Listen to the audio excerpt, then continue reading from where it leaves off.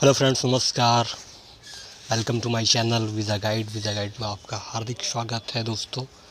और आप लोग मेरे चैनल को लाइक कर रहे हैं सब्सक्राइब कर रहे हैं, उसके लिए मैं आप सबको थैंक यू सो मच बोलना चाहता हूँ। और जो अभी अभी नए व्यूवर्स जो नए लोग मेरे चैनल से जुड़े हैं, उनसे मैं रिक्वेस्ट करना हूँ कि अभी तक अगर आपने मेरे चैनल को सब्सक्राइब नहीं किया है तो प्लीज़ इसे लाइक से सब्सक्राइब करिए। इससे मैं बाकी इन्फॉर्मेशन की वीडियो जॉब की वीडियो वीज़ा के रिगार्डिंग वीडियो अपने इस चैनल पर डालता रहता हूँ, आपके चैनल पर डालता रहता हूँ, जो सीधे आपके पास पहुँचेगी।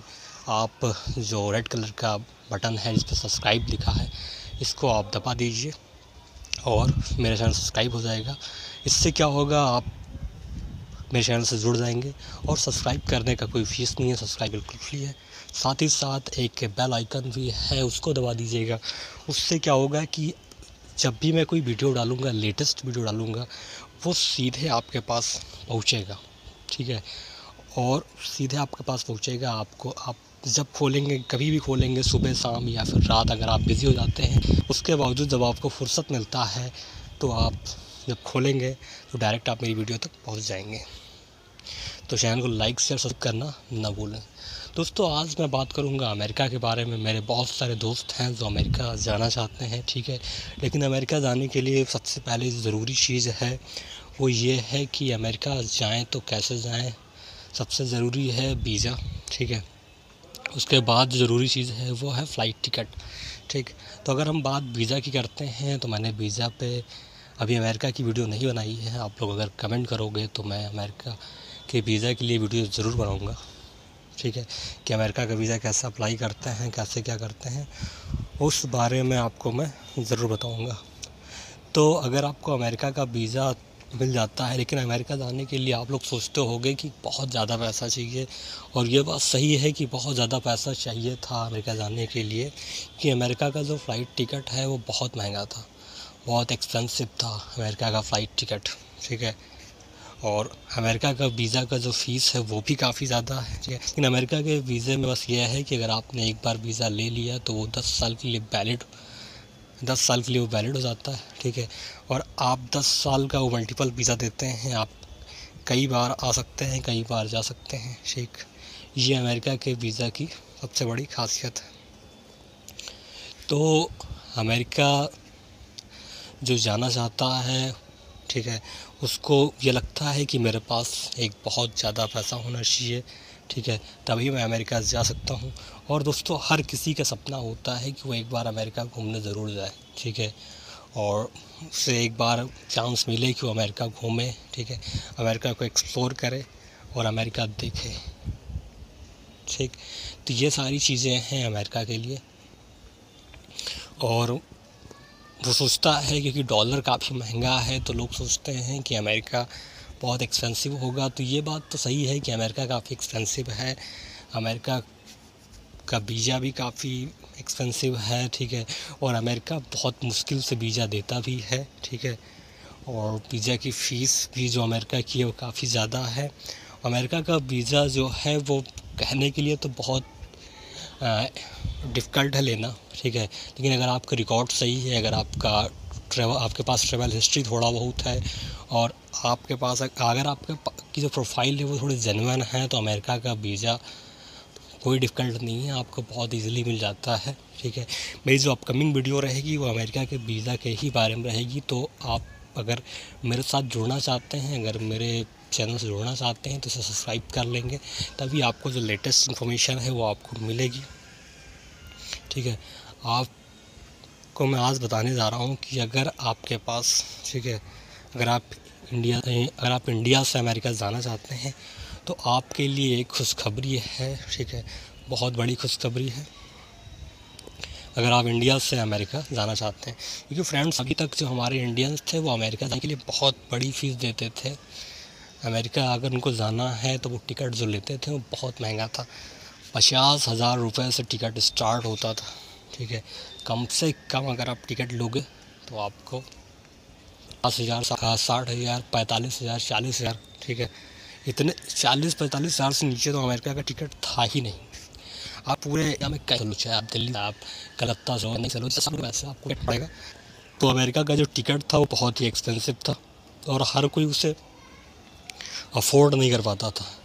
बाय मुश्किल अगर कोई एक बंदा चला एक बंदा कोई चला भी गया, ठीक है तो वो, उसे प्रॉब्लम होती थी। लेकिन दोस्तों, आज खुशखबरी ये है कि एक एयरलाइंस है, जो आइसलैंड की है, उसका नाम है वो एयरलाइंस वो इंडियंस के मतलब वो इंडियंस के लिए बहुत बड़ी खुशखबरी उसने दी है। वाशिंगटन से, ये नई दिल्ली से वाशिंगटन के लिए फ़्लाइट वाओ एयरलाइंस जाएगी। साथ में आप आइसलैंड भी घूम सकते हैं आइसलैंड भी सकते हैं। नेक्स्ट वीडियो में आपको बताऊँगा कि आइसलैंड का वीज़ा मिलता है, उसके बारे में। तो आज मैं आपको आइसलैंड के बारे में बताने जा रहा हूँ, ठीक है? जो वाओ एयरलाइंस है, वो नई दिल्ली से वाशिंगटन का सफ़र रहेगा, ठीक है? और इसका किराया मात्र तेरह हज़ार चार सौ निन्यानवे रुपये में इसकी बुकिंग शुरू हो जाएगी। तो इसका जो फेयर है, वो बहुत कम है, तेरह हज़ार चार सौ निन्यानवे रुपये ठीक है? तो अगर आप राउंड ट्रिप का लेते हैं तो आपका पच्चीस हज़ार में टिकट आने जाने का हो जाएगा। साथ में आप आइसलैंड भी घूम सकते हैं, ठीक है? जिसके पास कम पैसा है और जो अमेरिका जाने का सपना देखता है, उसके लिए ये खबर बहुत ही अच्छी है, ठीक है? और उसके लिए सबसे बढ़िया है, ठीक है? और ये आइसलैंड की सबसे सस्ती एयरलाइंस है, जिसका नाम है वाओ एयरलाइंस जो तेरह हज़ार चार सौ निन्यानवे में नई दिल्ली से वाशिंगटन ठीक है। और अन्य वाशिंगटन व कई और शहर हैं अमेरिका में जहाँ के लिए वो सफ़र शुरू करेगी, ठीक है। उसका बुकिंग चालू हो गया है, ठीक है। पहले क्या होता था कि हम पचास से साठ हज़ार रुपये में टिकट लेते थे, लेकिन अब ये कंपनी जो है, ये हमें तेरह हज़ार चार सौ निन्यानवे में टिकट देगी। और ये जो बुकिंग है, ये 2018 से मार्च 2019 तक रहेगा, ठीक है? तो आपके पास काफ़ी अच्छा टाइम है, आप इसे बुक कर सकते हैं, ठीक है?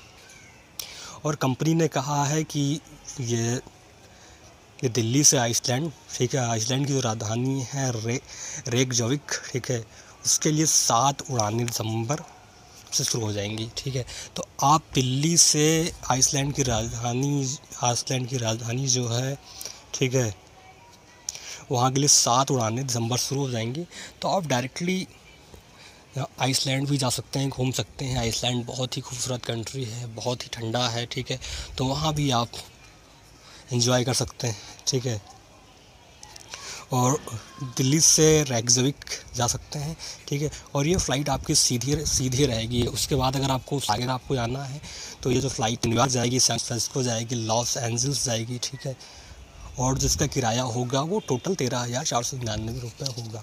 तो आप वहाँ पे आप नई दिल्ली से अगर आप जा रहे हो अमेरिका जा रहे हो तो बीच में आइसलैंड पड़ेगा और आइसलैंड में आप ट्रांसिट वीज़ा लेके, ठीक है, या फिर आप मल्टी सिटी का वीज़ा लेके आप आइसलैंड भी घूम सकते हैं और आइसलैंड भी घूम सकते हैं, आइसलैंड में भी आप रुक सकते हैं। वहाँ भी पूरा मतलब एक के साथ आप दो दो कंट्री का विज़िट कर सकते हैं। तो अगर आप अमेरिका में कहीं भी जा रहे हैं, लॉस एंजल्स जा रहे हैं, सैन फ्रांसिस्को जा रहे हैं या फिर कहीं भी जा रहे हैं तो आपके लिए ये बहुत ही अच्छी न्यूज़ है, ठीक है? लेकिन मैं आप का जो फेयर है वो सबसे कम पड़ेगा अराउंड ट्वेंटी फाइव थाउज़ेंड के आसपास पड़ेगा। लेकिन आपसे मैं एक चीज़ और भी कहना चाहता हूँ हम्म? जो ये है कि ये कि, ये जो किराया है, ये बेसिक फेयर है, ठीक है? मतलब तेरह हज़ार चार सौ निन्यानवे किराया आपका आने जाने का है। लेकिन अगर आप एक्स्ट्रा कुछ लेते हैं, ठीक है? जैसे कि आप अपनी मनपसंद सीट लेते हैं या फिर आप अपना मनपसंद खाना लेते हैं, वेज या नॉन वेज या कोई भी, ठीक है?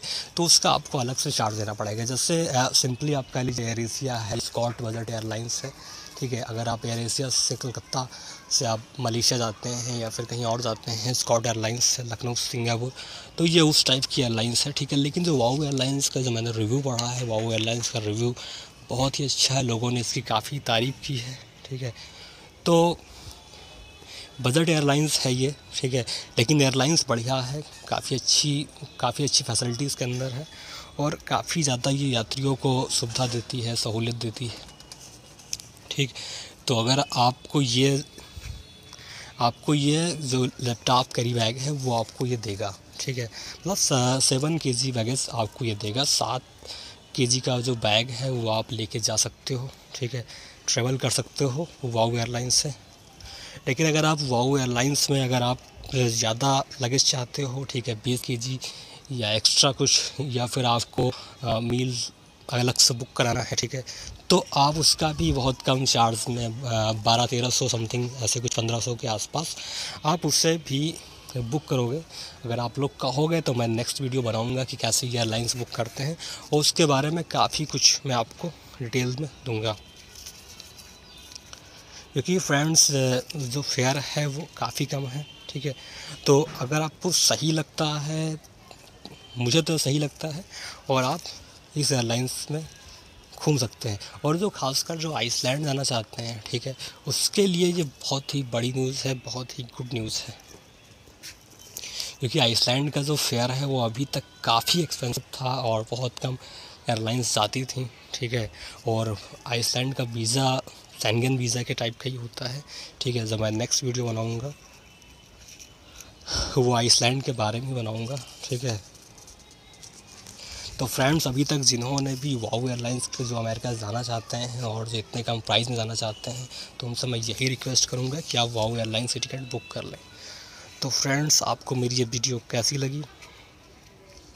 अगर आपको मेरी ये वीडियो अच्छी लगी हो तो प्लीज़ लाइक करिए शेयर करिए सब्सक्राइब करिए और मेरे यूट्यूब चैनल से जुड़िए, जिससे मैं आगे भी जो नेक्स्ट अपकमिंग वीडियोज़ बनाता रहूँ और इस पर डालता रहूँ, ठीक है? वो सीधे आप तक पहुँचे और मेरी वीडियो को देखना बिल्कुल ना भूलें, क्योंकि हर वीडियो में मेरे कुछ ना कुछ अच्छी चीज़ ज़रूर होता है, कुछ ना कुछ नॉलेज की बात होती है।